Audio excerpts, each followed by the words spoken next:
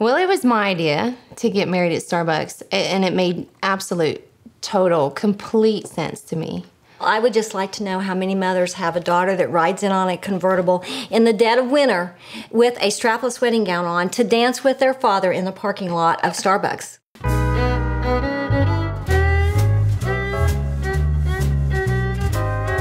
We fell in love over coffee. We usually would end the night at Starbucks. We closed them down. And then go sit out in the parking lot for another five hours because we weren't done talking. Yeah.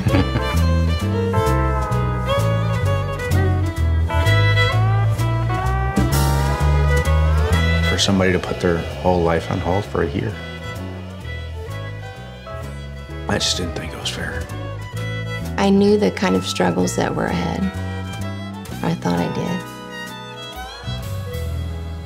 After Carmen left, um, my mom, knowing what a coffee hound I am, uh, and knowing that I needed somebody, I remember she contacted me and said, Let's have some coffee. With this guy up and gone, things were just kicked out from underneath her. For a year, me and my mom um, shared everything at that store. Um,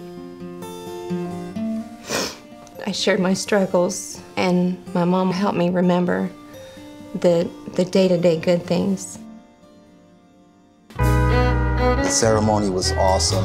She come around with a convertible, dress blowing in the wind. And, uh, Yeah, I remember it. going home that night and thinking, wow, you know, this is so magical. And we just got to share in such a very intimate piece of someone's life.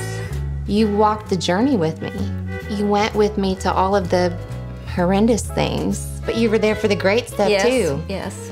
It really is more about the journey than the destination and and the people that are involved on the journey. And Well, yeah, sometimes you know, it doesn't matter where you go, it matters who's next to you Yeah. while you're getting there. yeah, Yeah. it does count. Yeah. Huge.